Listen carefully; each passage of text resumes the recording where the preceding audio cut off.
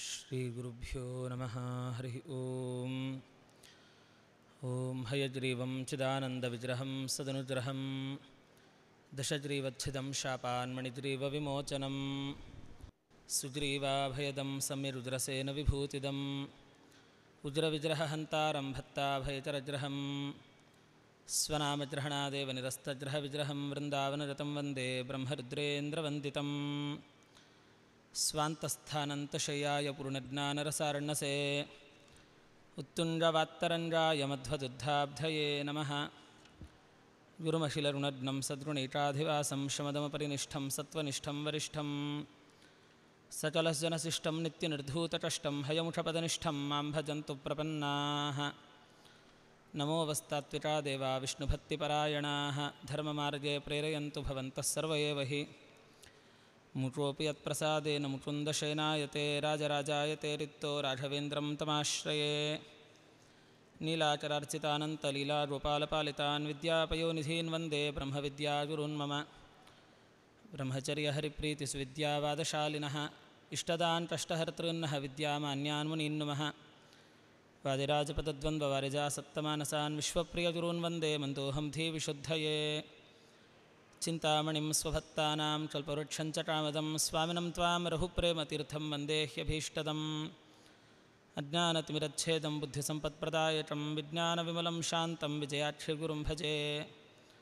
आपादमौलिपर्यन्तं गुरूणामाकृतिं स्मरेत्।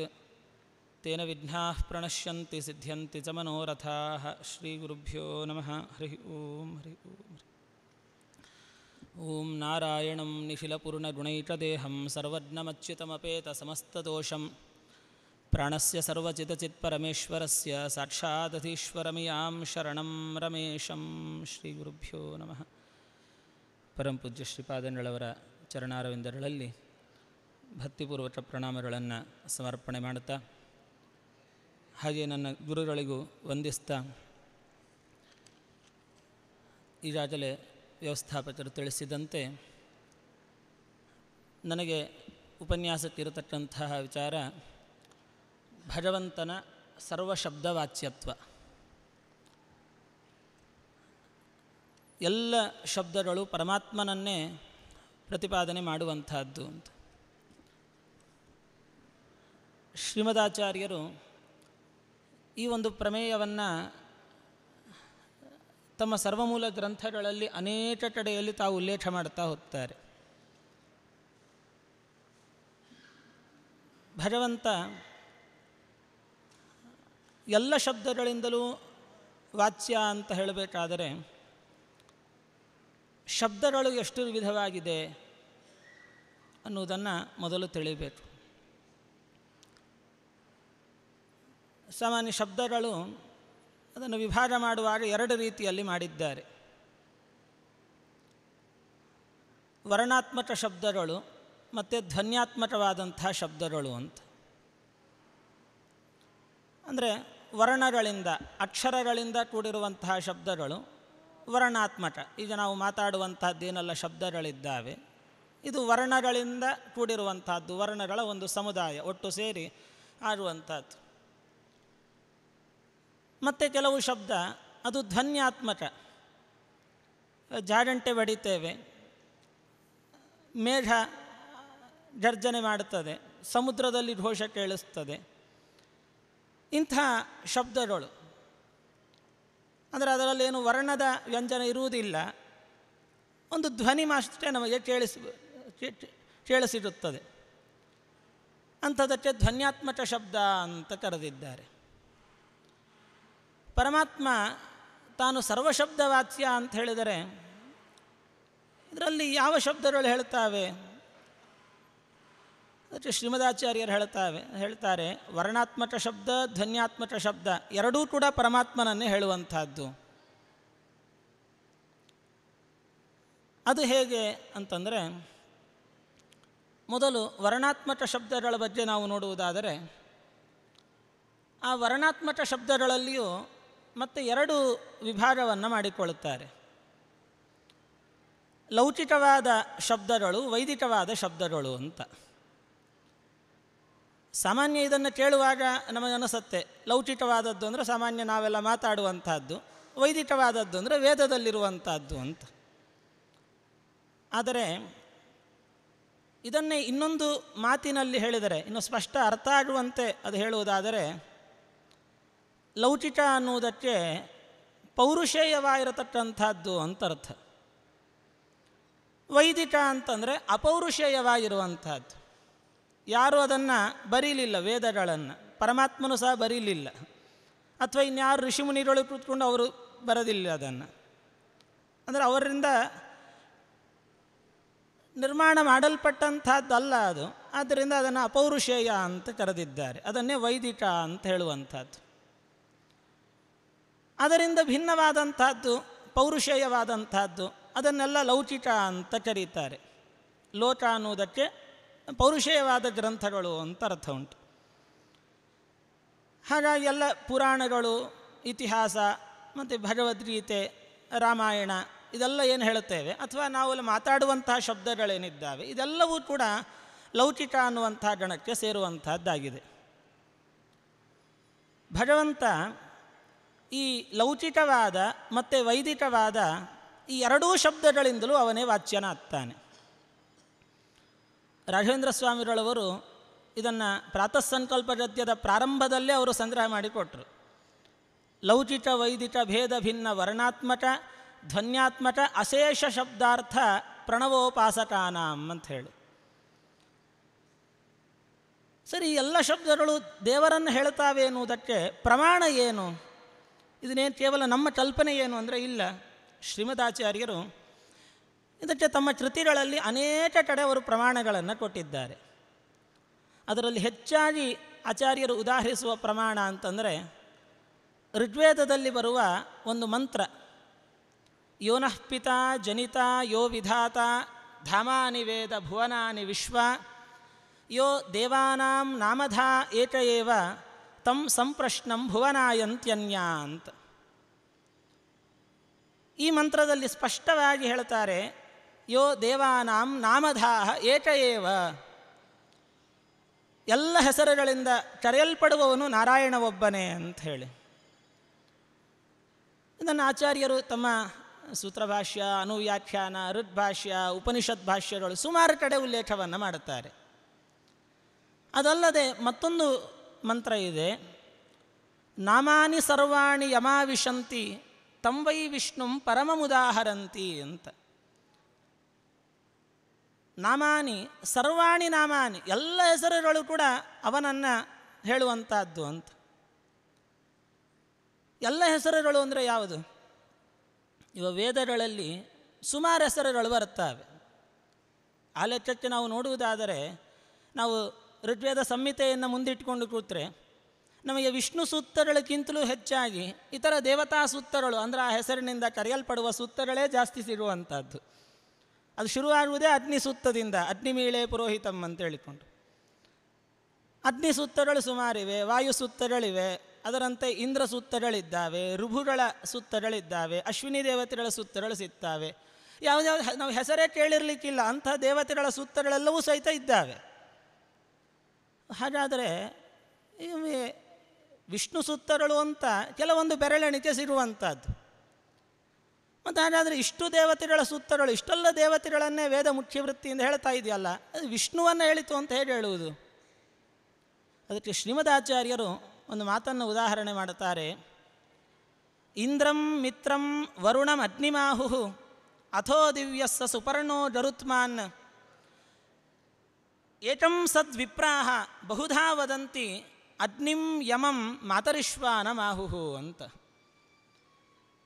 ಏನು ವೇದಗಳಲ್ಲಿ ಎಲ್ಲ ಶಬ್ದಗಳು ಬರ್ತಿದ್ದಾವೆ. ಇಂದ್ರ ಅಂತಿರಬಹುದು, ಅಗ್ನಿ ಅಂತಿರಬಹುದು, ಮಿತ್ರ, ವರುಣ ಇತ್ಯಾದಿ ಅನೇಕ ಬಗೆಯ ಶಬ್ದಗಳು ಬರ್ತಿದ್ದಾವೆ. ಇದೆಲ್ಲವೂ ಕೂಡ ಏಕಂ ಸದ್ವಿಪ್ರಾಹ, ಬಹುಧಾ ವದಂತಿ. ಒಬ್ಬನನ್ನೇ ತಿಳಿಸುವಂತಹದ್ದು ಅಂತ ಸ್ಪಷ್ಟವಾಗಿ ವೇದವೇ ಇದನ್ನು ಹೇಳ್ತಾ ಇದೆ. ಮತ್ತೊಂದು ಕಡೆ ವೇದವೇ ಹೇಳ್ತದೆ ಯಮಿಂದ್ರಮಾಹುರ್ವರುಣಂ ಯಮಾಹುಹು, ಯಂ ಮಿತ್ರಮಾಹುರು ಯಮು ಸತ್ಯಮಾಹು ಇನ್ನು ಸಸರ್ವನಾಮ ಸಚ ಸರ್ವಕರ್ತ ಹೀಗೆ ಅನೇಕ ಕಡೆಗಳಲ್ಲಿ ಯಾವ ವೇದ ಆದರೆ ಅನೇಕ ಹೆಸರುಗಳನ್ನು ಹೇಳಿಕೊಂಡು, ಅನೇಕ ದೇವತೆಗಳನ್ನು ಕೊಂಡಾಡುವಂತೆ ಕಾಣುತ್ತದೋ, ಅದೇ ವೇದಗಳೇನೆ ಅನೇಕ ಕಡೆಯಲ್ಲಿ ಈ ಏನೆಲ್ಲ ನಾನು ಹೆಸರುಗಳನ್ನು ಹೇಳಿದ್ದೇನೆ, ಇದೆಲ್ಲವೂ ಕೂಡ ವಿಷ್ಣುನಾಮ ಅಂತಲೇ ತಳೀರಿ ಅಂತ ಸ್ವಯಂ ವೇದವೇ ತನ್ನ ಒಂದು ತಾನು ಉದಾಹರಿಸಿದ ಆ ಹೆಸರುಗಳಿಗೆ ಭಗವತ್ಪರತ್ವವನ್ನು ತಿಳಿಯಿರಿ ಅಂತ ನಮಗೆ ಹೇಳುತ್ತಾ ಇದೆ. ಹಾಗಾಗಿ ಭಗವಂತನ ಆ ಸರ್ವಶಬ್ದವಾಚ್ಯತ್ವ ಸಸರ್ವನಾಮ ಸಚ ವಿಶ್ವರೂಪ ಪ್ರಸೀದತಾಂ ಬ್ರಹ್ಮ ಮಹಾವಿಭೂತಿ ಅಂತ ಪುರಾಣಗಳು ಇದನ್ನು ಕೊಂಡಾಡ್ತಾ ಇದ್ದಾವೆ. ಅಷ್ಟೇ ಅಲ್ಲ ಪರಮಾತ್ಮ ಕೃಷ್ಣ ಗೀತೆಯಲ್ಲಿ ಸ್ವಯಂ ತಾನೇ ಹೇಳಿಕೊಂಡ ಹಾಗೆ ವೇದೈಶ್ಚ ಸರ್ವೈಹಿ ಅಹಮೇವ ವೇದ್ಯ ವೇದಾಂತ ಕೃದ್ವೇದ ವಿದೇವಚಾಹಂ ಎಲ್ಲ ವೇದಗಳಿಂದಲೂ ಕೂಡ ಅಹಂ ಏವ ಅಂತ ಹೇಳಿಬಿಟ್ಟ. ಇನ್ನಲ್ಲಿ ಮಾತಾಡಲಿಕ್ಕಿಲ್ಲ ಅಂತ ಅರ್ಥ. ನಾನೊಬ್ಬನೇ ಪ್ರತಿಪಾದ್ಯ ಮುಖ್ಯ ವೃತ್ತಿಯಿಂದ ಅಹಮೇವ ವೇದ್ಯ ಅಂತ. ಹೀಗೆ ಅನೇಕ ಪ್ರಮಾಣಗಳು ಭಗವಂತನ ಸರ್ವಶಬ್ದ ವಾಚ್ಯತ್ವದ ಕುರಿತಾಗಿ ಸುಮಾರು ಪ್ರಮಾಣಗಳು ನಮಗೆ ಸಿಗ್ತವೆ. ಅದಲ್ಲದೆ ಸ್ವಯಂ ಶ್ರೀಮದ್ ಭಾಗವತ ದ್ವಿತೀಯ ಸ್ಕಂದದಲ್ಲೇ ಹೇಳುತ್ತಾರೆ, ಶಬ್ದಸ್ಯ ಹಿ ಬ್ರಹ್ಮಣ ಏಷ ಪಂಥಾ ಯನ್ನಾಮಭಿರ್ಧ್ಯಾಯತಿ ಧೀರ ಪಾರ್ಥೈ ಪರಿಭ್ರಮಂಸ್ತತ್ರ ನವಿಂದ ತೀರ್ಥಾನ್ ಮಯಾಮಯೇ ವಾಸನಯಾಶಯಾನ ಶಬ್ದಸ್ಯ ಹಿ ಬ್ರಹ್ಮಣ ಏಷ ಪಂಥಾಹ ಅಂತ. ಅದು ಏನು ಶಬ್ದ ಬ್ರಹ್ಮ ಏನಿದ್ರು ಅದು ಇವನನ್ನೇ ಹೇಳುವಂಥದ್ದು ಅಂತ ಸ್ಪಷ್ಟವಾಗಿ ವೇ, ಭಾಗವತ, ವೇದವ್ಯಾಸ ದೇವರು ಶುಕಾಚಾರ್ಯರು ಸ್ಪಷ್ಟವಾಗಿ ಒಂದು ವಿಚಾರವನ್ನು ತಾವು ನಿರೂಪಣೆಯನ್ನು ಮಾಡಿದ್ದಾರೆ. ಮತ್ತು ಹೀಗೆ ವೇದಗಳಲ್ಲಿಯೂ ಸುಮಾರು ಪ್ರಮಾಣಗಳು ಸಿಗ್ತಾವೆ. ಆ ವೇದಾರ್ಥವನ್ನು ನಿರ್ಣಯ ಮಾಡಲಿಕ್ಕೆ ಹೊರಟಂತಹದ್ದೇ ಬ್ರಹ್ಮಸೂತ್ರಗಳು. ಬ್ರಹ್ಮಸೂತ್ರಗಳಲ್ಲಿ ಮೊದಲನೆಯ ಅಧ್ಯಾಯವೇ ಸಮನ್ವಯಾಧ್ಯಾಯ ಅಂಥೇಳಿ ಅಂದರೆ ಎಲ್ಲ ಶಬ್ದಗಳನ್ನು ಕೂಡ ಪರಮಾತ್ಮನಲ್ಲಿ ಸಮನ್ವಯ ಮಾಡಿ ತೋರಿಸಿಕೊಡುವಂಥದ್ದು. ವೇದಗಳಲ್ಲಿ ಏನೆಲ್ಲ ಶಬ್ದಗಳು ಬರ್ತಾವೆ, ಅದೆಲ್ಲವನ್ನು ತತ್ತು ಸಮನ್ವಯಾತ್ ಓಂ ಅಂತ ಹೇಳಿಕೊಂಡು ಎಲ್ಲವನ್ನೂ ಕೂಡ ಭಗವಂತನಲ್ಲಿ ಸಮನ್ವಯ ಮಾಡಿ ತೋರಿಸಿಕೊಟ್ಟಿದ್ದಾರೆ. ಅದರಲ್ಲಿ ಸಾಮಾನ್ಯ ನಾಲ್ಕು ಪಾದ ಅಂತ ಅನ್ಯತ್ರ ಪ್ರಸಿದ್ಧವಾದಂತಹ ನಾಮಾತ್ಮಕ ಶಬ್ದಗಳ ಒಂದು ಸಮನ್ವಯ ಮೊದಲನೇ ಪಾದದಲ್ಲಿ. ಎರಡನೇ ಪಾದದಲ್ಲಿ ಅನ್ಯತ್ರ ಪ್ರಸಿದ್ಧವಾದಂತಹ ಲಿಂಗಾತ್ಮಕ ಶಬ್ದಗಳನ್ನು ಸಮನ್ವಯ ಮಾಡಿ ತೋ ತೋರಿಸಿಕೊಟ್ಟಂಥದ್ದು ಮತ್ತು ಅನ್ಯತ್ರ ಚ, ತತ್ರ ಚ, ಅನ್ಯತ್ರ ಚ. ಅಂದರೆ ದೇವರಲ್ಲಿಯೂ ಮತ್ತು ಬೇರೆ ಕಡೆಯಲ್ಲಿಯೂ ಕೂಡ ಪ್ರಸಿದ್ಧವಾದಂತಹ ನಾಮಲಿಂಗಾತ್ಮಕ ಶಬ್ದಗಳನ್ನು ದೇವರಲ್ಲಿ ಸಮನ್ವಯ ಮಾಡಿ ತೋರಿಸಿಕೊಟ್ಟಂಥದ್ದು ಕೊನೆಯ ನಾಲ್ಕನೇ ಪಾದದಲ್ಲಿ ಅನ್ಯತ್ರೈವ ಪ್ರಸಿದ್ಧವಾದ ನಾಮಲಿಂಗಾತ್ಮಕ ಶಬ್ದಗಳ ಸಮನ್ವಯ. ಹೀಗೆ ನಾಲ್ಕು ಪಾದಗಳಲ್ಲಿ, ಮೊದಲನೆಯ ಅಧ್ಯಾಯದಲ್ಲಿ ಏನೇ ಅನೇಕ ಶಬ್ದಗಳನ್ನು ಭಗವಂತನಲ್ಲಿ ಸಮನ್ವಯ ಮಾಡಿ ತೋರಿಸಿಕೊಟ್ಟಿದ್ದಾರೆ. ಅದನ್ನು ಸಂಕ್ಷಿಪ್ತವಾಗಿ ಹೇಳುವುದಾದರೆ, ಪರಮಾತ್ಮನಲ್ಲಿ ನೋಡಿ ಕೆಲವು ಶಬ್ದಗಳು ಅದು ದೇವರಲ್ಲಿ ಪ್ರಸಿದ್ಧಿ ಇದ್ದಾವೆ. ವಿಷ್ಣು, ಬ್ರಹ್ಮ ಇತ್ಯಾದಿ ಶಬ್ದಗಳು. ಅದರ ಬಗ್ಗೆ ನಮಗೇನು ಗಲಾಟೆ ಇಲ್ಲ. ವಿಷ್ಣು ಅಂದರೆ, ಓ ನಾರಾಯಣನೇ. ನಾವು ಹೇಳಿಬಿಡುತ್ತೇವೆ. ಇನ್ನು ಕೆಲವು ಶಬ್ದಗಳಿದ್ದಾವೆ. ವೈಶ್ವಾನರ ಅಂತ ಒಂದು ಶಬ್ದ. ಅಥವಾ ಅದಿತಿಹಿ ಅಂತ, ಅತ್ತ ಅದಿತಿ ಅಂತ ಒಂದು ಶಬ್ದ. ಇವೆಲ್ಲ ಏನು ಅಂದರೆ ನೋಡುವಾಗ, ಓ, ವೈಶ್ವಾನರ ಅಂದರೆ ವೈಶ್ವಾನರ ಅಂದರೆ ಅಗ್ನಿದೇವರು. ಇದು ಅಗ್ನಿಯನ್ನು ಹೇಳುವಂಥದ್ದು ಆದರೆ ಅಯಮಗ್ನಿರ್ ವೈಶ್ವಾನರ ಇತ್ಯಾದಿ ಏನು ಮಂತ್ರಗಳು ಬರ್ತಾವೆ, ಅಲ್ಲಿಯೂ ಕೂಡ ಶ್ರೀಮದಾಚಾರ್ಯ ಹೇಳ್ತಾರೆ ಅಲ್ಲಿ ವೈಶ್ವಾನರ ಅಂತಂದರೆ ವಿಶ್ವನರ ಸಂಬಂಧಿಯಾದ್ದರಿಂದ, ವೈಶ್ವಾನರ ಅಂದರೆ ನಾರಾಯಣ ಅಂತಲೇ ಅರ್ಥ. ಎಲ್ಲರಿಗೂ ಸಂಬಂಧಿಸಿದವ, ಆದ್ದರಿಂದ ವೈಶ್ವಾನರ ಅನ್ನುವ ಶಬ್ದ ಅದು ಭಗವಂತನನ್ನೇ ಹೇಳುವಂತಹದ್ದು. ಹೀಗೆ ಲಿಂಗಾತ್ಮಕ ಶಬ್ದಗಳನ್ನು ದೇವ, ಲಿಂಗಾತ್ಮಕ ಅಂದರೆ ಯಾವುದೋ ಒಂದು ಕಾರಣ ನೆಪದಿಂದ ಈ ಶಬ್ದ ಇವನನ್ನು ಹೇಳುತ್ತದೆ ಅಂತ ಹೇಳುವಂಥ ಶಬ್ದಗಳು. ಅದನ್ನೂ ದೇವರಲ್ಲಿ ಸಮನ್ವಯ ಮಾಡಿ ತೋರಿಸಿಕೊಟ್ಟಿದ್ದಾರೆ. ಅಥವಾ ಮೂರನೆಯ ಪಾದದಲ್ಲಿ ಆಗುವಾಗ ಇನ್ನು ಕೆಲವು ಶಬ್ದಗಳು ನೋಡಿ, ದೇವರನ್ನು ಹೇಳುತ್ತಾವೆ. ಬೇರೆದನ್ನು ಹೇಳುತ್ತಾವೆ, ಬೇರೆಯವರನ್ನು ಹೇಳುವಂಥದ್ದು. ಇವಾಗ ಭೂಮ, ಅಕ್ಷರ, ದಹರ ಇತ್ಯಾದಿ ಶಬ್ದಗಳೇನಿದ್ದಾವೆ, ಆಕಾಶ ಇತ್ಯಾದಿಗಳು. ಅಂಥ ಶಬ್ದಗಳನ್ನು ಕೂಡ ಪರಮಾತ್ಮನಲ್ಲಿ ಸಮನ್ವಯ ಮಾಡಿ ತೋರಿಸಿಕೊಟ್ಟಿದ್ದಾರೆ. ಕೊನೆಯಲ್ಲಿ ಅನ್ಯತ್ರೈವ ಪ್ರಸಿದ್ಧ, ಕೆಲವು ಶಬ್ದಗಳಿರ್ತವೆ, ಅದು ದೇವರನ್ನು ಹೇಳುವುದೇ ಇಲ್ಲ ಅದು. ಅಂದರೆ ಮೇಲ್ನೋಟಕ್ಕೆ ನೋಡುವಾಗ ಅದು ಬೇರೆ ಸಂಗತಿಯನ್ನೇ ಹೇಳುವಂಥದ್ದು ಅಂತ ಪ್ರಸಿದ್ಧ. ಆದರೆ ಶ್ರೀಮದಾಚಾರ್ಯ ಹೇಳ್ತಾರೆ, ಅವು ಕೂಡ ದೇವರನ್ನೇ ಹೇಳುವಂಥದ್ದು ಸುಮ್ಮನೆ ಒಂದು ಉದಾಹರಣೆ ಕೆಲವು ಕೊಡುವುದಾದರೆ ಅದರಲ್ಲಿ ಮೊದಲು ನಾಲ್ಕನೇ ಪಾದದಲ್ಲಿ ಮೊದಲು ಹೇಳುವಂತಹದ್ದು, ಇವಾಗ ದುಃಖಿ ಅಂತ ಒಂದು ಶಬ್ದ ಇದೆ, ಅವರ ಅಂತ ಶಬ್ದ ಇದೆ, ದುಃಖಿ ದುಃಖವುಳ್ಳವ, ಅವರ ಅವರ ಅಂದರೆ ತುಂಬ ಚಿಕ್ಕವ ಅದರಂತೆ ಬದ್ಧ ಅಂತ ಒಂದು ಶಬ್ದ. ಯಾವುದೋ ಒಂದು ಬಂಧನಕ್ಕೆ ಸಿಕ್ಕಾಟ್ಕೊಂಡವ ಅಥವಾ ಬಾಧ್ಯ ಇಂಥ ಶಬ್ದಗಳೆಲ್ಲ ಸುಮಾರಿದ್ದಾವೆ. ಇದೆಲ್ಲ ನಾವು ಕೇಳುವಾಗ ದೇವರು ಅಂತ ಯಾರಿಗಾದರೂ ತಲೆಯಲ್ಲಿ ಹೊಳಿಲಿಕ್ಕೆ ಸಾಧ್ಯನಾ? ಉಳ್ಳವ ಹೇಳಿದ ತಕ್ಷಣ ಯಾರಾದರೂ ದೇವರು ಅಂತ ಹೇಳಲಿಕ್ಕೆ ಆಗ್ತದ? ಆಗುವುದಿಲ್ಲ ಯಾಕಂದರೆ ದುಃಖಿ ಅಂದ ತಕ್ಷಣ ಯಾರೋ ಒಬ್ಬ ದುಃಖದಲ್ಲಿರುವಂಥವ ಅಷ್ಟೇ. ಅದು ದೇವರು ಅಂತ ಹೇಳಲಿಕ್ಕೆ ಸಾಧ್ಯನೇ ಇಲ್ಲ. ಆದರೆ ಶ್ರೀಮದಾಚಾರ್ಯ ಹೇಳುತ್ತಾರೆ, ಆ ಶಬ್ದಗಳು ಕೂಡ ಆ ದೇವರನ್ನೇ ಹೇಳುವಂಥದ್ದು. ಅದು ಹೇಗೆ ಅಂದರೆ, ದುಃಖಿ ಅಂತನ್ನುವಾಗ ದುಃಖ ಉಳ್ಳವ ಹೌದು, ಆದರೆ ಆ ದುಃಖ ಉಳ್ಳವನಲ್ಲಿಯೂ ಕೂಡ ಅಂತರ್ಯಾಮಿಯಾಗಿದ್ದುಕೊಂಡು ಭಗವಂತ ಇದ್ದಾನಲ್ಲ, ಅವನಿಗೆ ದುಃಖವನ್ನು ಕೊಡ್ತಾ ಇದ್ದಾನೆ. ಸ್ವಯಂ ತಾನು ದುಃಖದ ಲೇಪ ಇಲ್ಲದವನಾಗಿ ಅವನಲ್ಲಿ ಕೂತು ಅವನಿಗೆ ದುಃಖ ಕೊಡ್ತಾ ಇದ್ದಾನೆ ಸ್ವಾಮಿ. ಅಂತರ್ಯಾಮಿತ್ವೇನ ಪರಮಾತ್ಮ ಒಂದು ಶಬ್ದದಿಂದ ವಾಚ್ಯನಾಗ್ತಾ ಇದ್ದಾನೆ. ದುಃಖಿ ಬದ್ಧ ಇತ್ಯಾದಿ ಶಬ್ದಗಳು ಕೂಡ. ಉದಾಹರಣೆಗೆ ಬಾಧ್ಯ ಅಂತ ಇನ್ನೊಂದು ಶಬ್ದ. ಬಾಧ್ಯ ಬಾಧಕ ತಾಂಗತಃ ಅಂತ ಭಾಗವತ ಹೇಳುತ್ತದೆ. ಬಾಧ್ಯ ಅಂದ್ರೇನು? ಬಾಧೆಗೆ ಒಳಪಟ್ಟವ ದುಃಖ ಪಡ್ತಾ ಇರುವವ ಅಂತ. ಆದರೆ ಅಲ್ಲಿ ದೇವರಿಗೂ ದುಃಖ ಇದೆ ಅಂತ ಅರ್ಥ ಮಾಡುವುದಲ್ಲ. ಬಾಧ್ಯಾದಿಸ್ತು ಹರಿರ್ನಿತ್ಯಂ ಬಾಧ್ಯತಾದಿ ಜತೆತ್ಯಪಿ ಗೀಯತೆ, ನತು ಬಾಧ್ಯತ್ವಾತ್ಯ ದದೋಷಯುತತ್ವತಃ ಅಂತ ಆಚಾರ್ಯರು ಹೇಳುತ್ತಾರೆ. ಬಾಧ್ಯಾದಿಸ್ತ ಯಾರೆಲ್ಲಾದರೆ ದುಃಖ ಪಡ್ತಾ ಇದ್ದಾರೆ, ಅವರಲ್ಲಿ ಅಂತರ್ಯಾಮಿಯಾಗಿ ಇದ್ದದ್ದರಿಂದ ಅವನಿಯ ಹೆಸರೇ ವಿನಃ ಅವನಿಗೆ ಬಾಧೆ ಇದೆ ಅಂತ ಅರ್ಥ ಮಾಡಬೇಡಿ. ಹೀಗೆ ಅಂತರ್ಯಾಮಿ ವಿವಕ್ಷಯ ಇಂಥ ಶಬ್ದಗಳು, ದುಃಖಿ, ಬದ್ಧ, ಅವರ ಇತ್ಯಾದಿ ಶಬ್ದಗಳು ಕೂಡ ಪರಮಾತ್ಮನನ್ನೇ ಪ್ರತಿಪಾದನೆ ಮಾಡುವಂಥದ್ದು. ಇನ್ನು ಕೆಲವು ಶಬ್ದಗಳಿರ್ತವೆ ಅವೇನಂದರೆ ಚರ್ಮವಾಚಕವಾದ ಶಬ್ದಗಳು. ಇವಾಗ ಎಲ್ಲ ವೇದಗಳು ದೇವರನ್ನೇ ಹೇಳ್ತಾವೆ ಅಂದರೆ, ಸರಿ, ಆಯಿತು. ದೇವ, ವೇದಗಳಲ್ಲಿ ಏನೆಲ್ಲ ದೇವರ ಮಾಹಾತ್ಮ್ಯ ಉಂಟು, ಅದನ್ನು ಒಪ್ಪಿಕೊಳ್ಳೋಣಂತೆ. ದೇವರ ಮಹಿಮೆಯನ್ನು ಪ್ರತಿಪಾದನೆ ಮಾಡಿದ್ದು ದೇವರನ್ನು ಹೇಳ್ತಿದ್ದಾವೆ ಅಂತ. ಇನ್ನು ಕೆಲವು ಮಂತ್ರಗಳಿದ್ದಾವೆ. ಅದರಲ್ಲಿ ಯಜುರ್ವೇದ ಅಂತೂ ಕ್ರಿಯಾವಿಧಾನಗಳೇ ಜಾಸ್ತಿ ಅದರಲ್ಲಿ. ಅಲ್ಲಿ ಅನೇಕ ರೀತಿಯಲ್ಲಿ ಹಾಗೆ ಮಾಡಿ ಹೀಗೆ ಮಾಡಿ ಅಂತ ಹೇಳುವಂಥದ್ದೇ ಜಾಸ್ತಿ. ಕೆಲವು ಮಂತ್ರಗಳಿದ್ದಾವೆ. ಜ್ಯೋತಿಷ್ಠೋಮೇನ ಸ್ವರ್ಗಕಾಮೋ ಯಜೇತ, ವಸಂತೆ ವಸಂತೆ ಜ್ಯೋತಿಷಾಯ ಯಜೇತ ಇತ್ಯಾದಿ ಶಬ್ದಗಳು. ವಸಂತ ಋತು ಬಂದಾಗ, ನೀವು ಜ್ಯೋತಿಷ ಯಜೇತ ನೀವು ಜ್ಯೋತಿಷ್ಠೋಮ ಯಾಗ ಮಾಡಿ, ಅದರಿಂದ ದೇವರನ್ನು ಪೂಜೆ ಮಾಡಿ. ಇಂತಹ ಈ ಏನು ಮಂತ್ರಗಳಿದ್ದಾವೆ, ಇದು ದೇವರನ್ನು ಹೇಗೆ ಹೇಳುವಂಥದ್ದು ಅದು ಹೇಳಿದ್ದು ವಸಂತ ಋತುವಿನಲ್ಲಿ ಜ್ಯೋತಿಷ್ಠೋಮ ಯಾಗ ಮಾಡಿ ಅಂತ ಒಂದು ಯಾಗವನ್ನು ಪ್ರತಿಪಾದನೆ ಮಾಡಿದ್ದೇ ವಿನಃ, ಅದು ದೇವರನ್ನು ಹೇಳಲಿಲ್ವಲ್ಲ ಅದು ಅಂತ. ಆದರೆ ಆ ಶಬ್ದಗಳು ಭಗವಂತನನ್ನೇ ಹೇಳುವಂಥದ್ದು ಅಂತ ತಿಳಿಬೇಕು ನಾವು. ಹೇಗೆ ಅಂದರೆ ಒಂದರ್ಥ, ಅದು ಜ್ಯೋತಿಷ್ಠೋಮ ಯಾಗ ಮಾಡಿ ಅಂತ ಹೇಳಿದ್ದು ದೇವರ ಉದ್ದೇಶಕವಾಗಿ. ಆದ್ದರಿಂದ ದೇವರನ್ನು ಹೇಳಿತ್ತು ಅಂತ ಒಂದು ಸಾಮಾನ್ಯ ನಿರ್ವಚನ. ಅಥವಾ ಶ್ರೀಮದಾಚಾರ್ಯರು ಹೇಳ್ತಾರೆ, ಜ್ಯೋತಿಷ್ಯ ಪ್ರಾಣರೂಪತ್ವಾತ್. ಭಗವಂತ ಈ ಅವನನ್ನು ಈ ಒಂದು ಒಂದೊಂದು ಪದವೂ ಕೂಡ ಅದು ದೇವರನ್ನೇ ಪ್ರತಿಪಾದನೆ ಮಾಡುವಂಥದ್ದು ಅಂತ. ವಸಂತೆ ಅಂತ ಹೇಳಿದಾಗ ಅಲ್ಲಿ ವಸಂತ ಋತುವಿನಲ್ಲಿ ಅಂತ ಅರ್ಥ ಅಲ್ಲ ಅಂತ. ವಸಂತೆ ಅದು ದೇವರನ್ನು ಸಂಬೋಧನೆ ಮಾಡುತ್ತಾ ಇದೆ ಅಂತೆ ವೇದ. ಯಾಕೆಂದರೆ ದೇವರಿಗೆ ವಸಂತಿ ಅಂತ ಹೆಸರಿದೆ. ವಸಂತಿಶ್ಚ ವಸಂತತಃ.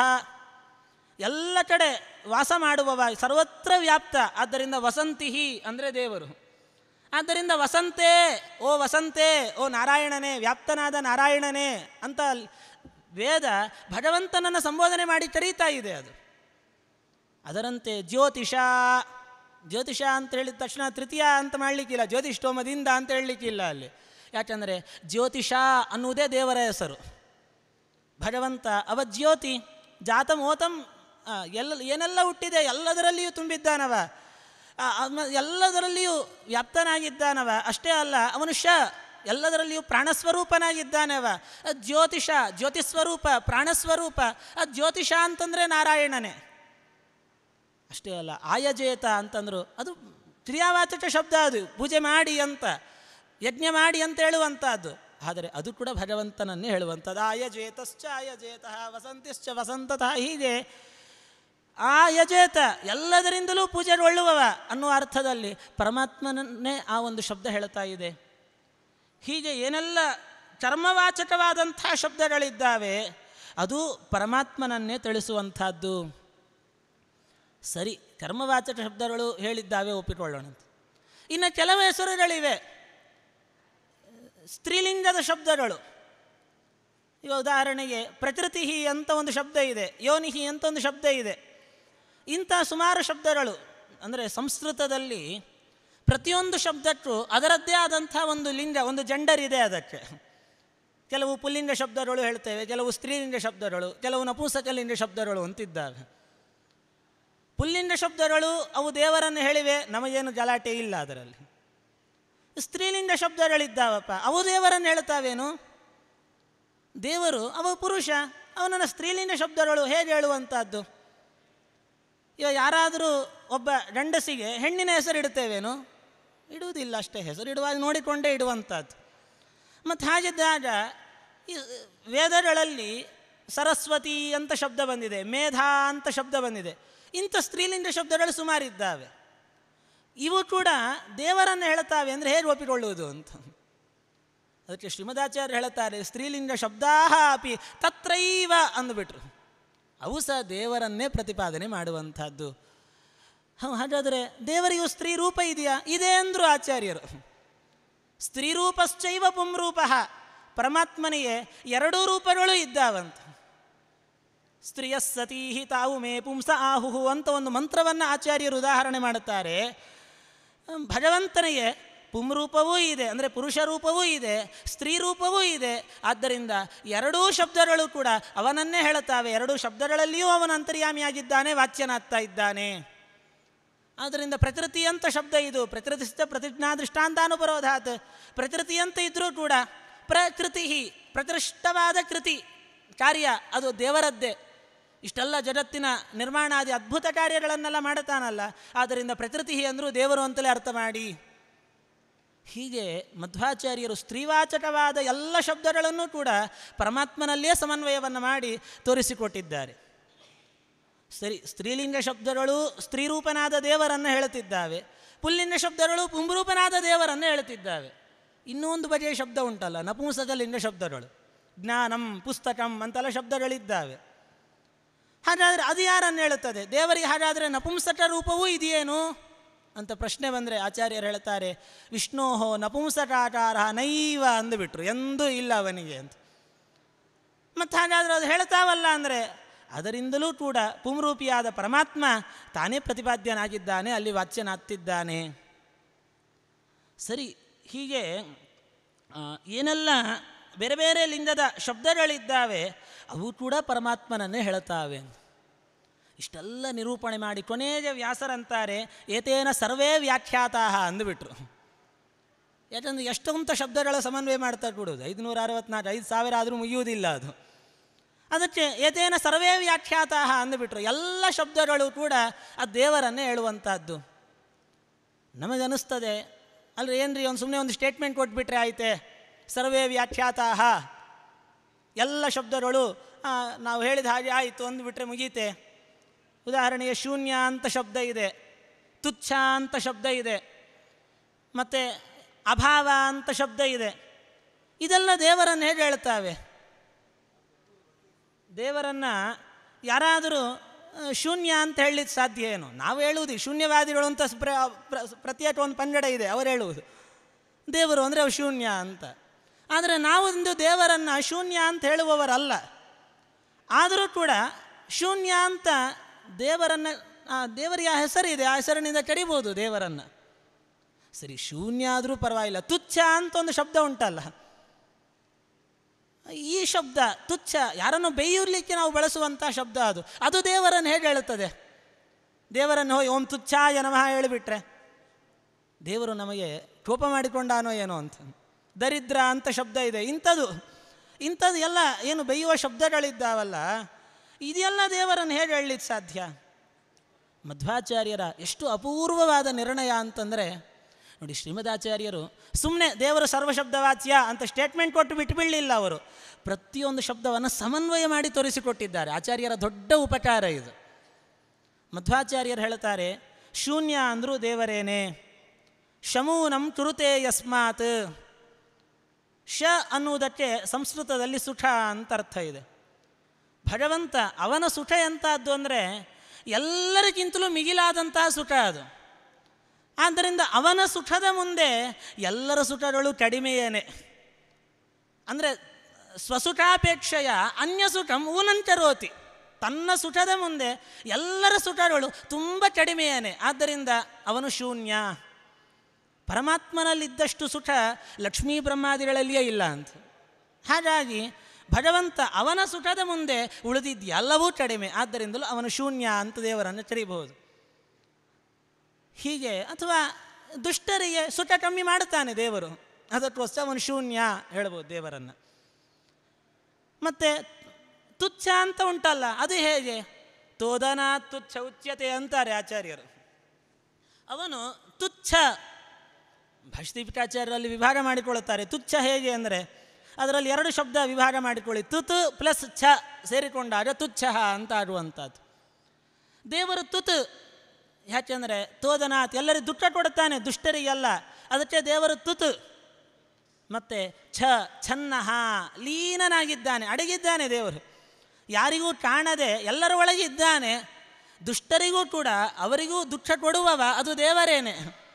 ಆದರೆ ಕಾಣಿಸಿಕೊಳ್ಳುವುದಿಲ್ಲ ಅಂತವರು. ಚನ್ನನಾಗಿ ತುತು. ತೋದನ ಮಾಡ್ತಿದ್ದ ದುಃಖ ಕೊಡ್ತಿದ್ದಾನೆ ಅವರು, ತುದತಿ. ಆದ್ದರಿಂದ ದೇವರಿಗೆ ತುಚ್ಛ ಅಂತ ಹೇಳಬೇಕು.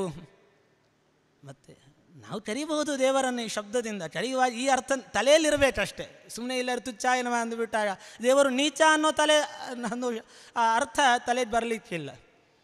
ಹೀಗೆ ತುಚ್ಛ, ಅಭಾವ ಅಭಾವ ಅಂದರೆ ಇಲ್ಲದ್ದು ಅಂತ. ಕೆಲವರು ಹೇಳಿಬಿಟ್ರು, ದೇವರು ಇಲ್ಲವೇ ಇಲ್ಲ ಅಂತ.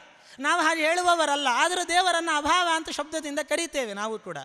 ಯಾಕೆಂದರೆ ನೈಷ ಭಾವೈ ತುಂ ಶಕ್ಯ.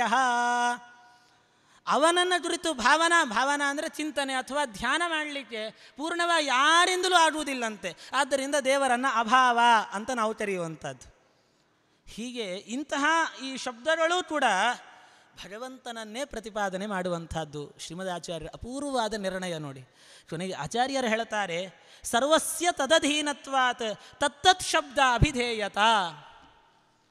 ದೇವರು ಎಲ್ಲ ಶಬ್ದಗಳಿಂದ ವಾಚ್ಯ ಯಾಕೆ ಅಂತಂದರೆ ಎಲ್ಲವೂ ಅವನ ಅಧೀನ. ಅದಕ್ಕೆ ವಿಶ್ವಶಬ್ದಾರ್ಥ ಹೇಳುವಾಗ ಆಚಾರ್ಯ ಇದೇ ಒಂದು ಯುಕ್ತಿಯನ್ನು ಹೇಳುತ್ತಾರೆ ಅಲ್ಲಿ. ವಿಶ್ವಸ್ಯ ತದಧೀನತ್ವಾತ್ ವಿಶ್ವಂ ವಿಷ್ಣುರುದೀರ್ಯತೆ ಅಂತ ಹೇಳಿ. ಇಡೀ ವಿಶ್ವ ಅವನ ಅಧೀನ ಆದ್ದರಿಂದ ದೇವರಿಗೆ ವಿಶ್ವ ಅಂತ ಹೆಸರು. ಯಾವ ರೀತಿಯಲ್ಲಿ ದೃಷ್ಟಾಂತ ಸಾಮಾನ್ಯ ನಾವು ಕೇಳುತ್ತಿರ್ತೇವೆ. ಯಾವುದೋ ತರಕಾರಿ ಮಾರುವವನನ್ನು ರಸ್ತೆಯಲ್ಲಿ ಓಡುವಾಗ ತರಕಾರಿ ಅನ್ನೋ ಅವನನ್ನು ಕರೆಯೋದು. ಯಾರು ಹೂ ಮಾರುವ, ಏ, ಹೂವು ಇಲ್ಲಿ ಬಾ ಅಂತಲೇ ಕರೆಯೋದು. ಏ, ಹಾಲು ಇಲ್ಲಿ ಬಾ ಅಂತಲೇ ಕರೆಯುವುದು ಅವರನ್ನು.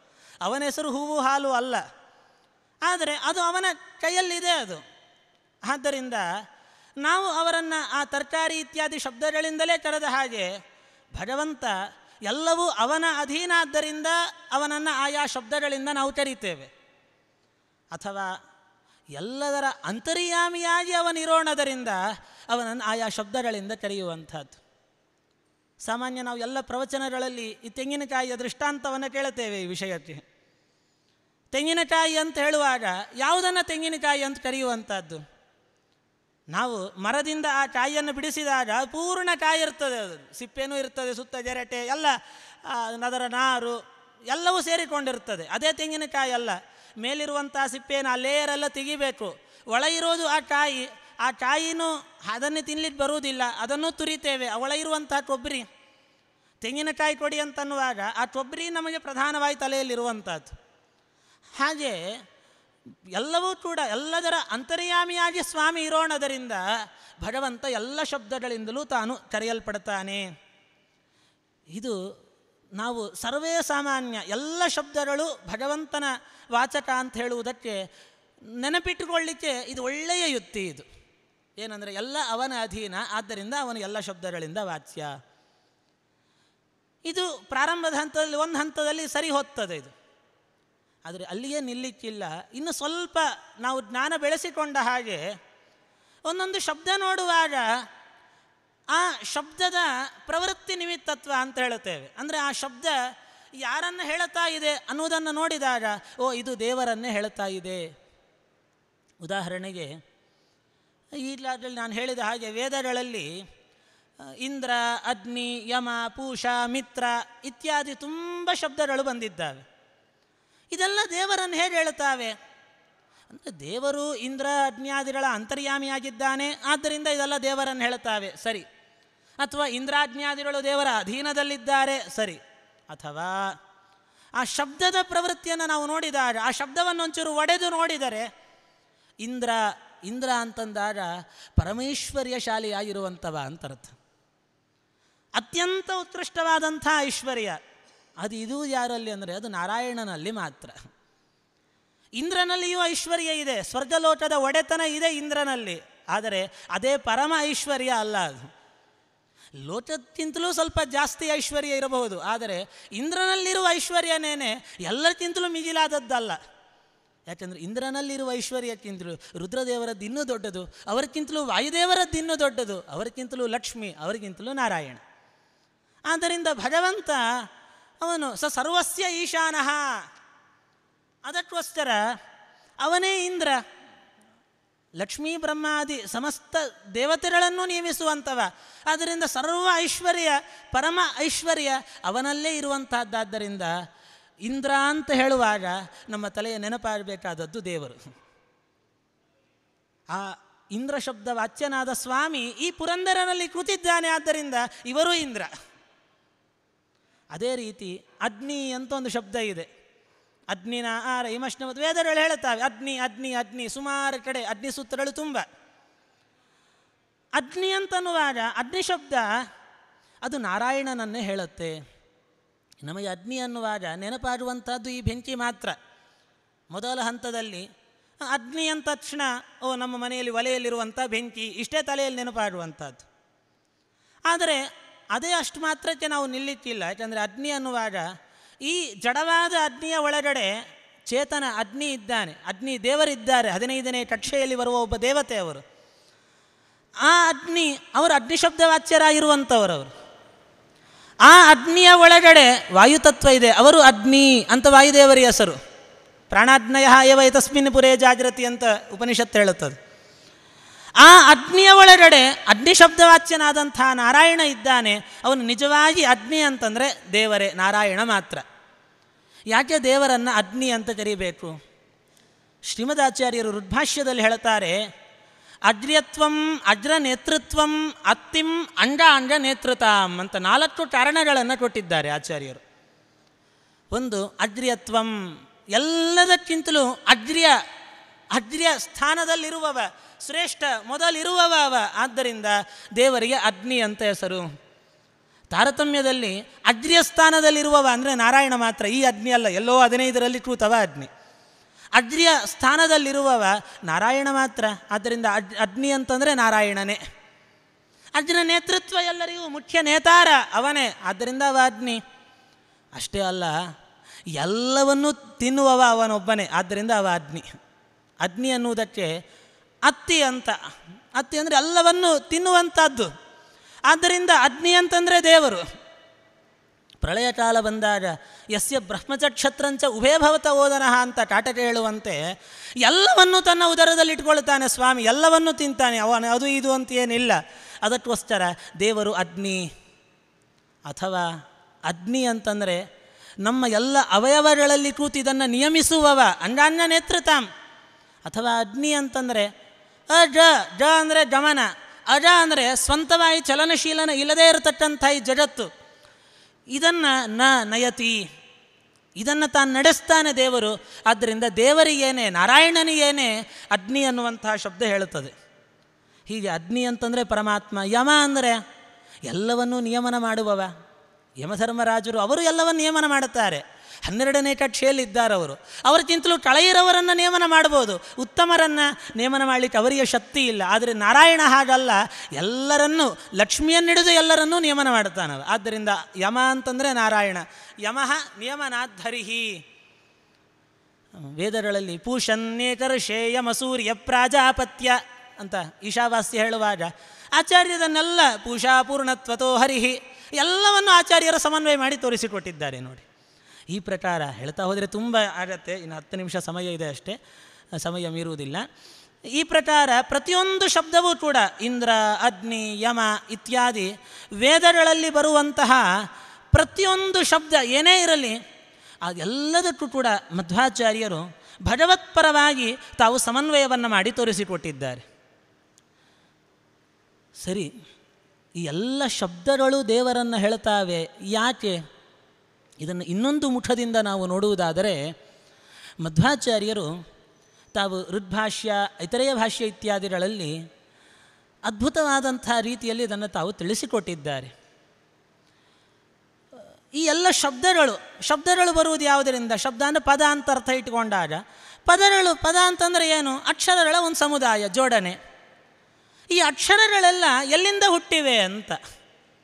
ಅದರ ಮೂಲವನ್ನು ನಾವು ಹುಡುಕಾಡಿಕೊಂಡು ಹೋದರೆ ಎಲ್ಲವೂ ಕೂಡ ಬಂದದ್ದು ಅದು ಓಂಕಾರದಿಂದ. ಓಂ ಅನ್ನುವಂಥ ಏನು ಅಕ್ಷರ, ಅದಕ್ಕೆ ಪ್ರಣವ ಅಂತ ಕರೆಯುವಂಥದ್ದು. ಓಮಿನಿಂದ ಎಲ್ಲ ಅಕ್ಷರಗಳು ಕೂಡ ಅಭಿವ್ಯಕ್ತಿ ಆಗುವಂಥದ್ದು. ಓಂ ಅಂತನ್ನುವುದನ್ನು ನಾವು ಬಿಡಿಸಿ ನೋಡಿದಾಗ ಪ್ರಧಾನವಾಗಿ ಮೂರು ಅಕ್ಷರ ಕಾಣುತ್ತದೆ ಅದರಲ್ಲಿ, ಅಚಾರ, ಉಚಾರ, ಮಚಾರ ಅಂತ. ಆ ಓಂಕಾರ ಅದು ಸಮಗ್ರವಾಗಿ ದೇವರನ್ನೇ ಹೇಳುವಂಥದ್ದು. ಅಧಿಕ, ಉಚ್ಚ, ಮಾನ ಅಂತ. ಅಧಿಕೋಚ್ಚ, ಮಾನತ್ವಂ. ಓಂ ಅಂತನ್ನುವಾಗ ಅ ಅ ಅಂದರೆ ದೇವರು ಅಧಿಕ, ಉ ಅಂದರೆ ದೇವರು ಉಚ್ಚ, ಎಲ್ಲದಕ್ಕಿಂತಲೂ ಎತ್ತರದಲ್ಲಿದ್ದಾನೆ. ದೇವರು ಮಾನ. ಹೀಗೆ ಓಂ ಅನ್ನುವ ಶಬ್ದ ಪೂರ್ಣವಾಗಿ ಪರಮಾತ್ಮನನ್ನು ಹೇಳುವಂಥದ್ದು ಓಮಿತ್ಯೇತದಕ್ಷರ ಮುದ್ಗೀತಮುಪಾಸೀತ ಇತ್ಯಾದಿಗಳಲ್ಲಿ, ಓಮಿತಿ ಬ್ರಹ್ಮ ಇತ್ಯಾದಿಗಳಲ್ಲಿ ಓಂಕಾರ ಅದು ಭಗವದ್ವಾಚಕವಾದಂತಹ ಶಬ್ದ. ಆದ್ದರಿಂದ ಓಂಕಾರದಿಂದ ಹೊರಹೊಮ್ಮಿದ ಏನೆಲ್ಲ ಅಕ್ಷರಗಳಿವೆ ಎಲ್ಲವೂ ದೇವರನ್ನೇ ಹೇಳುವಂಥದ್ದು. ಓಂಕಾರದಲ್ಲಿರುವ ಮೂರು ಅ, ಉ, ಮ, ಅದರಿಂದ ಬಂದದ್ದೇ ಮೂರು ವ್ಯಾಹೃತಿಗಳು. ಭೂಹು, ಭುವಹ, ಸುವಹ ಅಂತ ಮೂರು ವ್ಯಾಹೃತಿಗಳು ಅದರಿಂದ ಹೊರಬಂದಿದ್ದಾವೆ. ಈ ಮೂರು ವ್ಯಾಹೃತಿಗಳು ಪರಮಾತ್ಮನನ್ನೇ ಹೇಳುವಂಥದ್ದು. ಯಾಕೆಂದರೆ ಭೂಹು ಅಂತಂದರೆ ಏನು? ಭೂಮ ಪೂರ್ಣತ್ವಂ ತಥೋ ಭೂಹು ಅಂತಾರೆ ಟೀಚರಾಯರು ಭೂಹು ಅಂತಂದರೆ ದೇವರು ಪರಿಪೂರ್ಣ, ಪೂರ್ಣ ಗುಣ, ಪೂರ್ಣ ಆನಂದ, ಎಲ್ಲ ಪೂರ್ಣ ದೇವರು. ಭೂಹು ಅಂತಂದರೆ ಭಗವಂತನ ಪೂರ್ಣತ್ವವನ್ನು ಹೇಳುವ ಶಬ್ದ, ಅದಕ್ಕೆ ದೇವರು ಭೂಹು. ಭುವಃ, ಭುವ, ಭಾವನಾತು ಭುವಃ, ಜಗತ್ತನ್ನು ಉತ್ಪಾದನ ಸೃಷ್ಟಿ ಮಾಡುತ್ತಿದ್ದಾನೆ ದೇವರು. ಆದ್ದರಿಂದ ದೇವರಿಗೆ ಭುವಃ ಅಂತ ಹೆಸರಿದೆ. ಆಚಾರ್ಯರು ಬೇರೆ ಬೇರೆ ಕಡೆ ಬೇರೆ ಬೇರೆ ಅರ್ಥಗಳನ್ನು ತೋರಿಸಿಕೊಡ್ತಾ ಹೋಗ್ತಾರೆ. ಭೂತಿ ವೀರ್ಯತ್ವ ತೋ ಭುವ ಬೇರೆ ಬೇರೆ ಅರ್ಥ ಹೇಳ್ತಾ ಹೋಗ್ತಾರೆ. ಒಂದು ಅರ್ಥ ಮಾತ್ರ ನಿರೂಪಣೆ ಮಾಡ್ತಿದ್ದೇನೆ. ಇನ್ನೊಂದು ಸುವಹ ಅಂತ. ಸುವಹ ಅಂತಂದರೆ ಮಹಾ ಆನಂದ ಸ್ವರೂಪಿಯಾಗಿರತಕ್ಕಂಥವ, ಅದಕ್ಕೆ ದೇವರಿಗೆ ಸುವಹ. ಸುವಹ ಜ್ಞಾನಾನಂದಮಯ, ಆದ್ದರಿಂದಲೂ ದೇವರು ಸುವಹ. ಹೀಗೆ ಮೂರು ವ್ಯಾಹೃತಿಗಳು ಪರಮಾತ್ಮನನ್ನೇ ಹೇಳುವಂಥದ್ದು.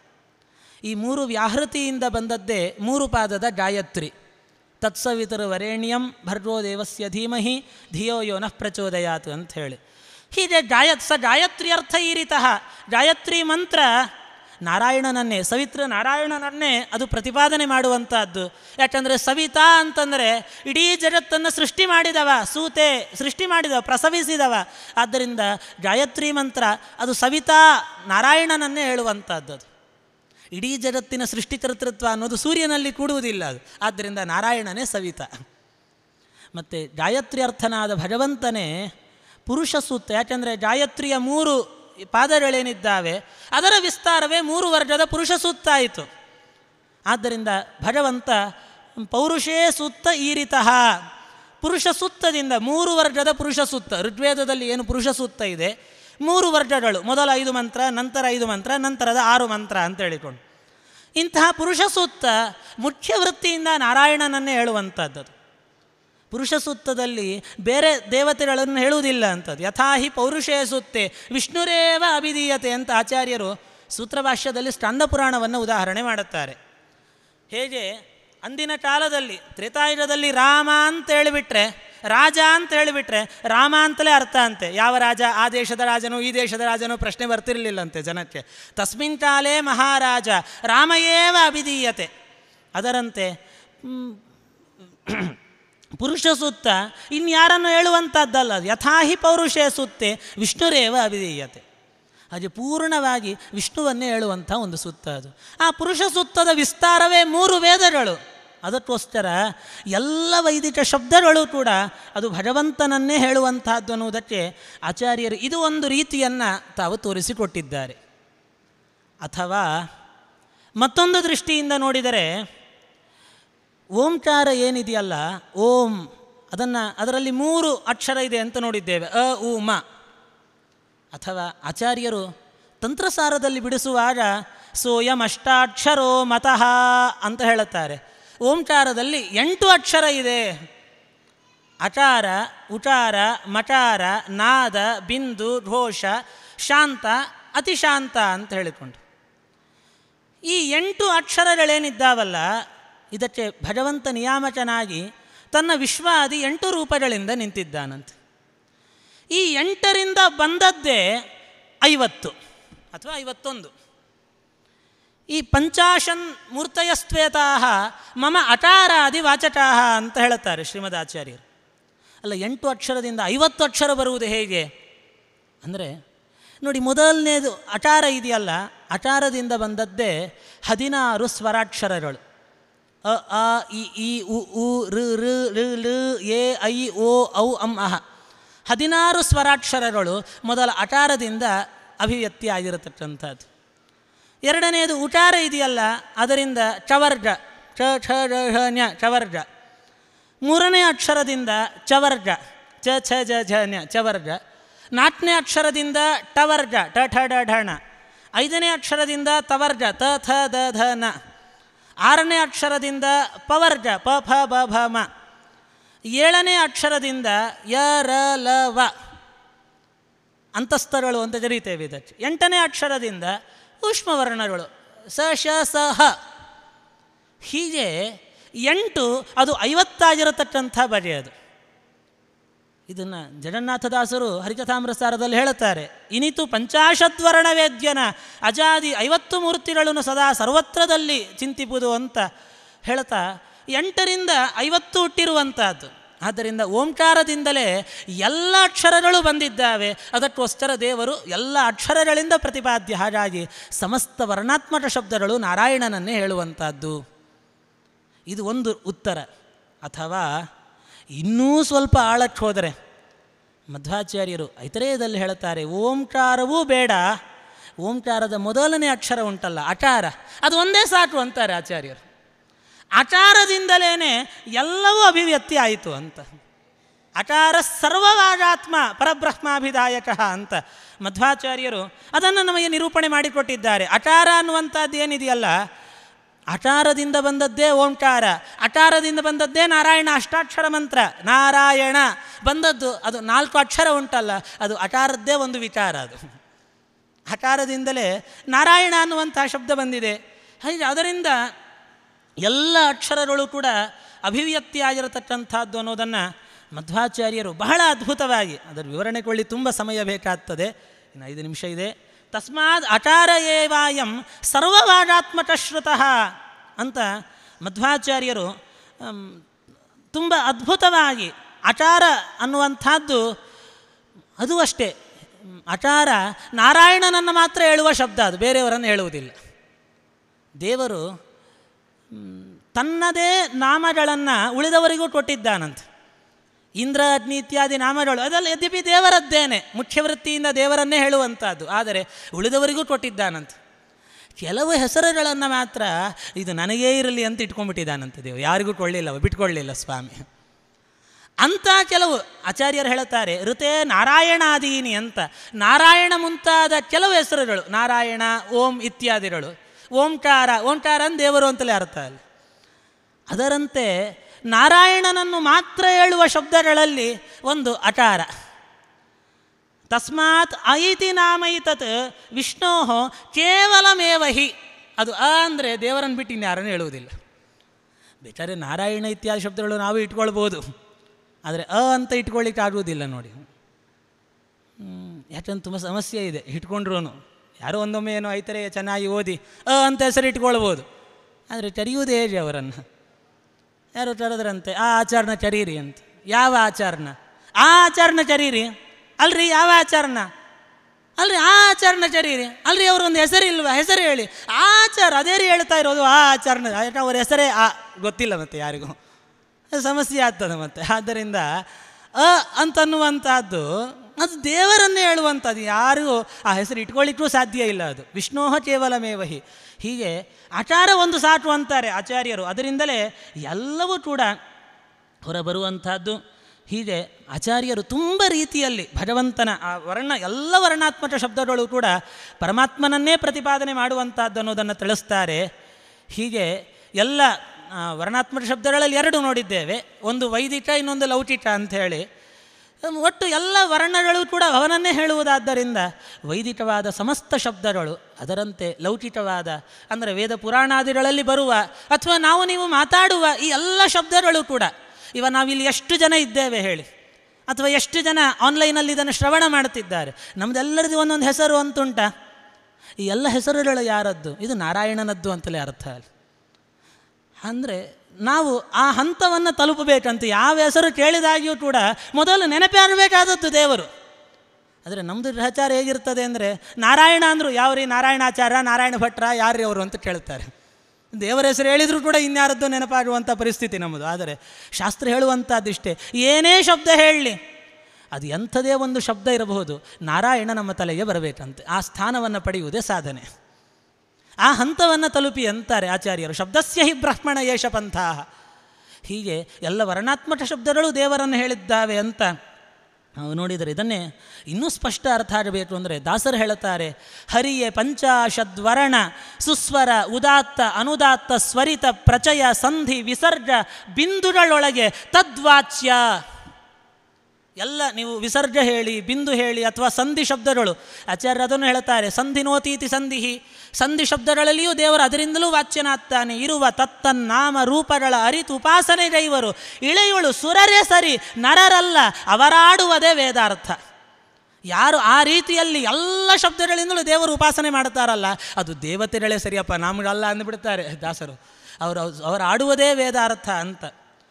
ಸರಿ, ಇಷ್ಟೆಲ್ಲ ಯಾಕೆ ತಿಳಿಬೇಕು ನಾವು? ನಮಗೇನು ಪ್ರಯೋಜನ? ಏನೋ ವ್ಯವಹಾರ ಅಂತೂ ಲೋಟದಲ್ಲಿ ನಡೀತಾ ಇದೆಯಲ್ಲ ಸರ್ವಶಬ್ದ ವಾಚ್ಯತ್ವ ಯಾಕೆ ತಿಳಿಬೇಕು ಅಂದರೆ, ದಾಸರು ಹೇಳ್ತಾರೆ ಭಗವಂತನದ್ದೇ ಒಂದು ರೂಪ, ವಾನ್ಮಯ, ಮನೋಮಯ ಅಂಥೇಳಿ ಅವನ ರೂಪದ ಉಪಾಸನೆಯೇ ನಾವಿದೆಲ್ಲವನ್ನು ತಿಳಿಬೇಕು.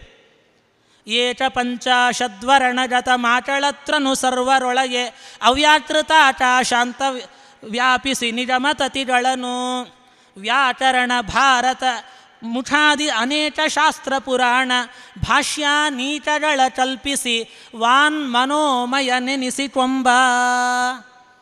ಏಳನೇ ಸಂಧಿಯಲ್ಲಿ ದಾಸರು ಹೇಳುವಾಗ, ಇದೆಲ್ಲ ಯಾಕೆ ತಿಳಿಬೇಕು ಅಂದರೆ ವಾನ್ಮಯನಾದ ಆ ಭಗವಂತನ ಒಂದು ಉಪಾಸನೆಗೋಸ್ಕರ ಇಷ್ಟೆಲ್ಲವನ್ನು ನಾವು ತಿಳಿಬೇಕು. ವಿಜಯದಾಸರು ಇನ್ನೂ ಸ್ಪಷ್ಟ ಮಾಡಿಬಿಟ್ರು, ಅ ಮೊದಲು ಕ್ಷಕಾರ ಅಂತ ಈ ಮಹಾವರ್ಣಗಳೆಲ್ಲ ಸ್ವಾಮಿಯಾದ ವಿಷ್ಣುವಿನ ನಾಮವೆಂದು ತಿಳಿದವಗೆ, ಆನಂದ ಆನಂದ, ಮತ್ತೆ ಪರಮಾನಂದ.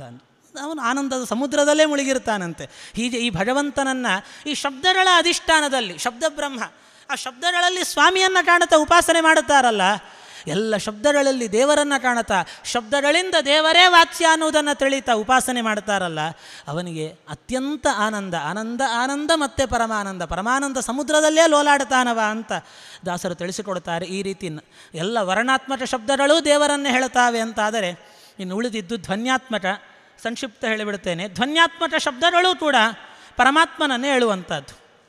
ಅದಕ್ಕೆ ಆಚಾರ್ಯರು ಕರ್ಮ ನಿರ್ಣಯದಲ್ಲಿ ಒಂದು ಋನ್ಮಂತ್ರವನ್ನು ತೆಗೆದುಕೊಳ್ತಾರೆ ಅವಸ್ವರಾತಿ ಪರಿಸ ನಿಷ್ವಣತ್ ಪಿಂಡ ಪರಿಚನಿಷ್ಠದಿಂದ್ರಾಯ ಬ್ರಹ್ಮೋದ್ಯತಂ. ಇಂದ್ರಾಯ ಬ್ರಹ್ಮ ಉದ್ಯತಂ. ಇಂದ್ರಾಯ ಇಂದ್ರ ಶಬ್ದವಾಚ್ಯನಾದಂಥ ನಾರಾಯಣನಿಗಾಗಿಯೇನೆ ಬ್ರಹ್ಮ ಅಂದರೆ ಎಲ್ಲ ವೇದಗಳು ಕೂಡ ಉದ್ಯತಂ. ಅಂದರೆ ವೇದ ಉದ್ಯತಃ, ಅವನಿಗೋಸ್ಕರ ಹೊರಟಿದೆ ಈ ವೇದವು ಎಲ್ಲವೂ ಕೂಡ. ಯಾವ ಯಾವ ಶಬ್ದಗಳು? ಅಂದರೆ ಈ ಎಲ್ಲ ಅವಸ್ವರಾತಿ ಜರ್ಜರ ಜರ್ಜರ ಶಬ್ದಗಳು ಅಂತ ಹೇಳುತ್ತಾರೆ. ಜರ್ಜರ ಅಂತಂದರೆ ಉದಾಹರಣೆ, ಈ ಯಾವುದೋ ಒಂದು ಪಾದಭೂಷಣ ಕಾಲಿಗೆ ಹಾಕ್ಕೊಳ್ಳುವಂಥ ಒಂದು ಗೆಜ್ಜೆ ಇರ್ತದೆ. ಓಡಾಡುವ ಜಜ್ಜೆ ಶಬ್ದ ಮಾಡುತ್ತದಲ್ಲ.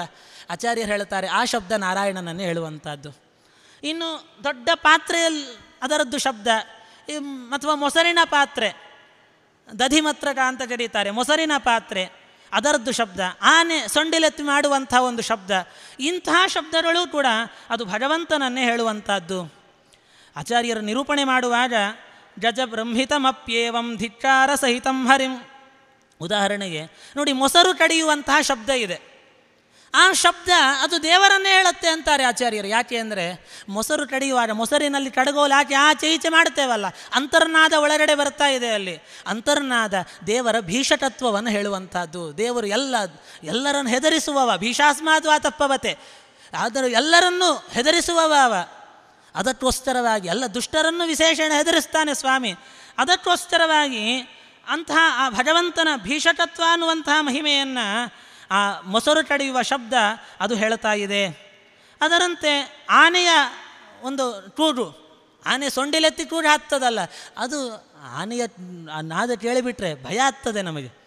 ಆನೆಯ ಪಕ್ಕದಲ್ಲಿ ನಿಂತಾಗ ಒಮ್ಮೆ ಜೋರು ಟೂರಿ ಬಿಟ್ಟರೆ ಓಡಿ ಹೋಗ್ತೇವೆ. ಹಾಗೆ ಯಾಕಂದರೆ ಅದು ಧಿಕ್ಕಾರ ಸಹಿತಂ ಹರಿಂ. ಅನ್ಯರನ್ನು ಧಿಕ್ಕರಿಸ್ತಾ ಅದು ದೇವರನ್ನು ಹೇಳ್ತಾ ಇದೆ ಅದು.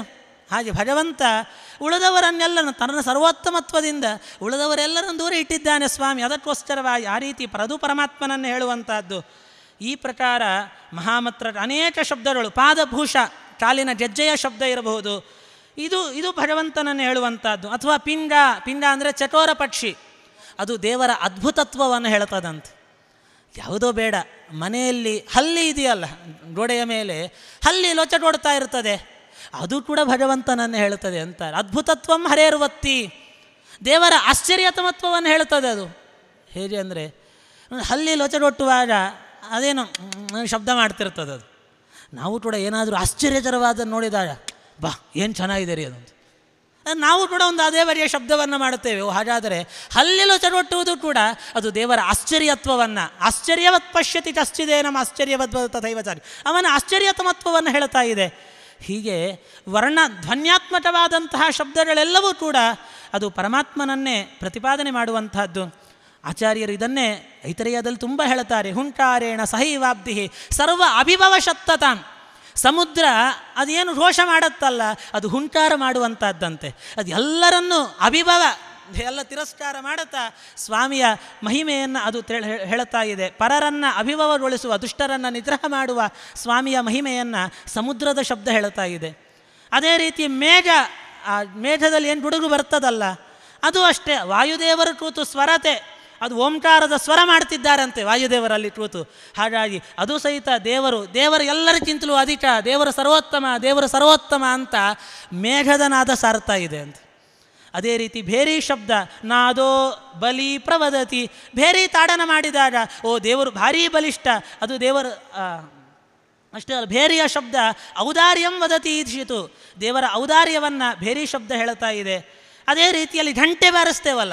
ಪೂಜೆ ಮಾಡುವ ಗಂಟೆ ಬಾರಿಸ್ತೇವೆ. ಅದು ಅಷ್ಟೇ ಸ್ವಾಮಿಯಕ್ಕಿಂತಲೂ ಉಳಿದವರೆಲ್ಲ ಚಿಕ್ಕವರು, ತದಪೇಕ್ಷೆಯ ಅನ್ಯ ನೀಚತ್ವಂ. ಅದನ್ನು ಗಂಟೆ ಬಾರಿಸುವ ಶಬ್ದ ಹೇಳ್ತಾ ಇದೆಯಂತೆ. ಈ ರೀತಿ ಪಕ್ಷಿಯ ಶಬ್ದ ಇರ್ಬೋದು, ಕೊನೆ ಎಲ್ಲಿವರೆಗೂ ಅಂದರೆ ಶ್ವಾಸ, ನಮಗೆ ಉಸಿರು ತೆಗೆದುಕೊಳ್ಳುತ್ತೇವೆ. ಆ ಶಬ್ದವೂ ದೇವರನ್ನು ಹೇಳುತ್ತದೆ ಅಂತಾರೆ ಆಚಾರ್ಯರು. ನಮ್ಮ ಚಿಂತನೆ ಎಷ್ಟರ ಮಟ್ಟಿಗೆ ಹೋಗಬೇಕು ನೋಡಿ, ನಮ್ಮ ಜವಾಬ್ದಾರಿ ಎಷ್ಟುಂಟು ಸಾಧನೆಯಲ್ಲಿ ಅಂತ. ಆಚಾರ್ಯ ಅದನ್ನು ಹೇಳ್ತಾರೆ, ಶ್ವಾಸ ಶಬ್ದವೂ ಕೂಡ ಭಗವಂತನ ಅಚಾಂಚಲ್ಯವನ್ನು ಯಚಪ್ರಕಾರತ್ವವನ್ನು ಶ್ವಾಸ ಹೇಳ್ತಾ ಇದೆ ಅಂತ. ಇದನ್ನೆಲ್ಲ ಆಚಾರ್ಯ ಋದ್ಭಾಷ್ಯದಲ್ಲಿ ಹೇಳಿದ್ದುಂಟು, ಉದಾತ್ತಸ್ಯ, ಉಚ್ಚತಾರ್ಥತ ಪ್ರಚಯಸ್ಯ, ಯಥಾಸ್ಥಿತಿ ನೀರಿ, ನೀಚತಾ, ಸ್ವರಿತಸ್ಯಾರ್ಥ ಇತ್ಯಾದಿ ರೀತಿಯಲ್ಲಿ ಎಲ್ಲವೂ ಕೂಡ ಮಾರ್ಜಾರದ ಶಬ್ದ, ಮಾರ್ಜಾರ ಅಂತ ಶಬ್ದ ಉಂಟು, ಬೆಕ್ಕು ಅಂತ. ಮಾರಯಿತ್ವಾ ಪ್ರಭಕ್ಷ್ಯೈವ ಜರಯತ್ಯ ಹಿಲಂ ಜಗತ್ತೇನ ಮಾರ್ಜಾರ ಉದ್ದಿಷ್ಟ. ಮಾರ್ಜಾರ ಅಂದರೆ ನಮಯ ಅನಿಸುವುದು ಬೆಕ್ಕು ಅಂತ. ಆದರೆ ದೇವರು ಮಾರ್ಜಾರ ಯಾಕೆ ಅಂದರೆ ಇಡೀ ಜಗತ್ತನ್ನು ಮಾರಯಿತ್ವ. ಪ್ರಳಯದಲ್ಲಿ ಎಲ್ಲ ಸಂಹಾರ ಮಾಡಿ ಹೊಟ್ಟೆಯಲ್ಲಿ ತಿಂದಾಕ್ತಾನೆ ಅದಕ್ಕೆ ಮಾರ್ಜಾರ ಅಂದರೆ ದೇವರು. ಮೂಷಟ ಅಂದರೆ ದೇವರು. ಮೂಷಟ ಅಂದರೆ ಇಲಿ ಅಲ್ಲ. ಮೂಷಟ ಅಂದರೆ ದೇವರು. ಯಾಕೆಂದರೆ ಮುಷಸ್ತೇಯೆ ಅಂತ ಧಾತು. ಎಲ್ಲ ಭಕ್ತರ ಪಾಪಗಳನ್ನು ತದ್ದಿ ಹಾಕ್ತಾನವ. ಅದಕ್ಕೆ ದೇವರು ಮೂಷಟ ದೇವರೇ ವೃಷ. ವೃಷ ಅಂದರೆ ಎತ್ತಲ್ಲ. ದೇವರು ವೃಷ. ಯಾಕೆ ವರ್ಷಣಾತ್ ವೃಷ ಉದ್ದಿಷ್ಟ. ಭಕ್ತರಿಗೆ ಅಭೀಷ್ಟಗಳ ಸುರಿಮಳೆ ಸುರಿಸ್ತಾನೆ. ಅದಕ್ಕೆ ದೇವರು ವೃಷ. ದೇವರು ವಲ್ಲಿ ವಲನಾಥ್ ವಲ್ಲಿ ನಾಮಕಃ ವಲ ಸಂವರಣೆ ಅಂತ ಎಲ್ಲರನ್ನು ಆವರಣೆ ಮಾಡಿ ನಿಂತಿದ್ದಾನೆ ದೇವರು ವಲ್ಲಿ ಹೀಗೆ ತಾರಣಾತ್ ತೃಣ. ತೃಣ ಅಂದರೆ ಹುಲ್ಲು ಅಂತ ಹೇಳೋದು. ಆಚಾರ್ಯ ಹೇಳ್ತಾರೆ, ದೇವರೇ ತೃಣ. ಯಾಕೆ? ಭಕ್ತರನ್ನ ಸಂಸಾರದಿಂದ ತಾರಣ ದಾಟಿಸ್ಬಿಡ್ತಾನೆ, ದೇವರೇ ತೃಣ. ಇನ್ನು ಆಚಾರ್ಯ ಗೀತಾ ಭಾಷ್ಯದಲ್ಲಿ ಎಷ್ಟು, ಗೀತಾ ತಾತ್ಪರ್ಯದಲ್ಲಿ ಹೇಳುವಾಗ, ದರ್ಭ, ಆದ್ಯ ಈ ಶಬ್ದಗಳನ್ನು ಸಮನ್ವಯ ಮಾಡಿ ತೋರಿಸಿಕೊಟ್ಬಿಟ್ಟಿದೆ. ದರ್ಭ, ದರ್ಭೆ ಅಂದ ತಕ್ಷಣ ನಮ್ಮ ತಲೆ ನೆನಪಾಗಿ ದರ್ಭೆನೆ. ದರ್ಭ ಅಂದರೆ ನಾರಾಯಣ. ದರ್ಭೋದರ ಧರೋ ಯತಃ. ದರ್ಭ, ದರ, ಭ, ದರ ಅಂದರೆ ಶಂಕ ಅದನ್ನು ಭ ಹೊತ್ತಿದ್ದಾನೆ, ಅದಕ್ಕೆ ದರ್ಭ ಅಂದರೆ ನಾರಾಯಣ. ಆಜ್ಯಾಯಸ್ವಾತ್ ಆಜ್ಯನಾಮ. ಎಲ್ಲರಿಗಿಂತಲೂ ಉತ್ತಮ, ಆಜ್ಯ ಅಂದರೆ ನಾರಾಯಣ. ಈ ಪ್ರಕಾರ ಸಮಯ ಮುಳಿದಿದೆ ಆದ್ದರಿಂದ ಹೆಚ್ಚು ಹೇಳಲಿಕ್ಕೆ ಸಾಧ್ಯ ಇಲ್ಲ.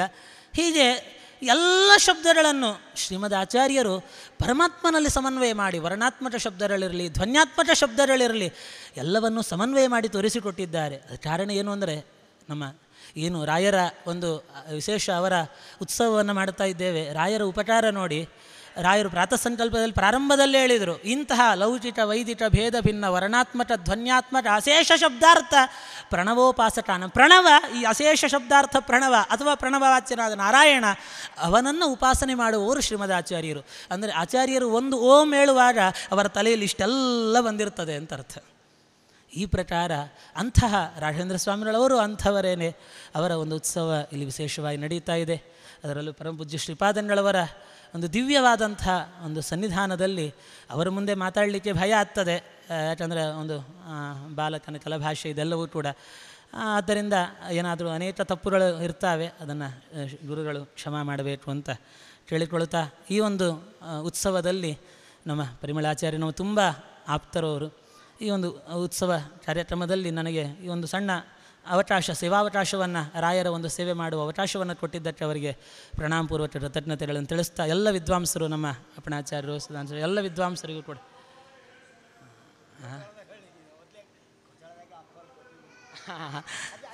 ಚೌತಾಳಕ್ಕೆ ಗುರುಜಗನ್ನಾಥ ದಾಸರ ಆರಾಧನೆಗೆ ಗುರುಗಳು ಅವರೊಟ್ಟಿಗೆ ನಾನು ಹೋಗಿದ್ದೆ. ಅಲ್ಲಿ ಹೋದಾಗಲೇ ಅವರು ಆಹ್ವಾನ ಕೊಟ್ಬಿಟ್ರಿ, ನೀವು ಬರಲೇಬೇಕು ಅಂತ ನಮ್ಮ ಅಪ್ಪಣಾಚಾರ್ಯರು. ನೀವು ಬರಲೇಬೇಕು ಈ ಬಾರಿ ರಾಯರ ಒಂದು ಸೇವೆ ನಿಮ್ಮಿಂದ ಆಗಬೇಕು, ಬರಲೇಬೇಕು ಅಂತ ತುಂಬ ಅಭಿಮಾನದಿಂದ ಅವರು ಒತ್ತಾಯ ಮಾಡಿ ಕರೆದಿದ್ದಾರೆ. ನನಗೊಂದು ಸೇವಾವಕಾಶ, ನನಗೊಂದು ಭಾಗ್ಯ ಕೊಟ್ಟಿದ್ದಾರೆ. ಆದ್ದರಿಂದ ಅವರಿಗೂ ಪ್ರಣಾಮಪೂರ್ವಕವಾಗಿ ಕೃತಜ್ಞತೆಗಳನ್ನು ಸಲ್ಲಿಸ್ತಾ ಎರಡು ಮಾತುಗಳನ್ನು ಶ್ರೀಕೃಷ್ಣ ಅರ್ಪಣ ಮಸ್ತು ಮಧ್ವೇಶ.